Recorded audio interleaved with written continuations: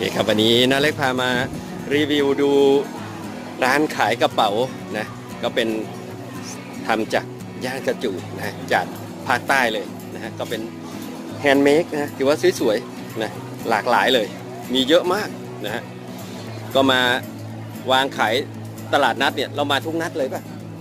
ทั้งวันอังคารวันศุกร์เนาะอ๋อทั้งอังคารทั้งศุกร์เลยฮะใครที่สนใจอยากจะได้เนี่ยก็ ลองแวะมาดูฮะนะหรือว่าอยากจะสั่งก็สามารถสั่งได้นะ เดี๋ยวจะลงเบอร์โทรลงข้างล่างนะนะให้ดูโอ้โหนี่สวยๆงามๆทั้งนั้นเลยนะฮะเนี่ยเป็นหัตถการหัตถกรรมพื้นบ้านนะว่าเป็น handmade สวยๆเนี่ยมาดูราคากันเนี่ยอันนี้ก็ 200 กว่าบาทที่เป็นใส่กระดาษทิชชู่กระเป๋าเนี่ย 280นะสวยๆทั้งนั้นเลยเนี่ยเนี่ยซื้อฝากแม่สวยๆได้เลยฮะนี่โหราคาแบบ ไม่ถือว่าแพงมากนะร้อยกว่าบาทก็ยังมีนะฮะนะนี่ฮะนี่เนี่ยโหแบบนี้โอ้โหเป็นกล่องนะเป็นกล่องใส่ร้อยเก้าสิบเอง ใหญ่มากเลยเนี่ยใหญ่มากเลย เดี๋ยวดูอันนี้นะที่ใส่ อันนี้เท่าไหร่เนี่ยใหญ่ๆเนี่ยห้าร้อยเก้าสิบนะเห็นไหมสวยๆทั้งนั้นเลย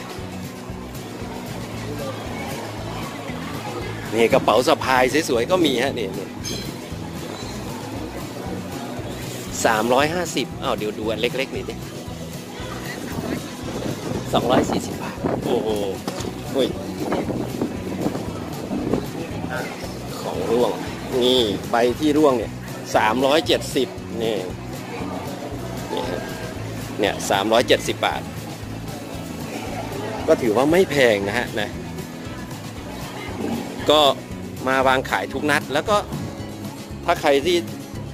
ไปที่ร้านกาแฟนะบอใบไม้ร้านบอใบไม้ก็มีวางขายด้วยนะที่ หลังวัดเทพประสาทนะอยู่เตาถ่านนี่เองฮะใกล้ๆนะฮะ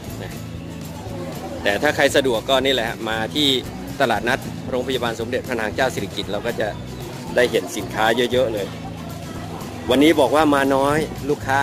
สั่งไปเยอะนะเนี่ยเป็นสินค้าจากสั่งมาจากโดยตรงจากทางใต้เลยฮะนะ อ่าก็มาจากนครศรีธรรมราชนะฮะนะเห็นไหมสวยๆเด็ดๆเลย ใครอยากจะสั่งไปขายต่อก็ได้นะเนี่ยนะเดี๋ยวลงเบอร์โทรให้ฮะนะอะครับผมสลับคลิปนี้นั่นเลยก็เก็บมาฝากกันเพียงเท่านี้ครับผมครับ ขอบคุณครับที่ติดตามรับชมช่องกิตในสารพีชอบอย่าลืมกดไลค์กดแชร์กันนะผม สวัสดีครับ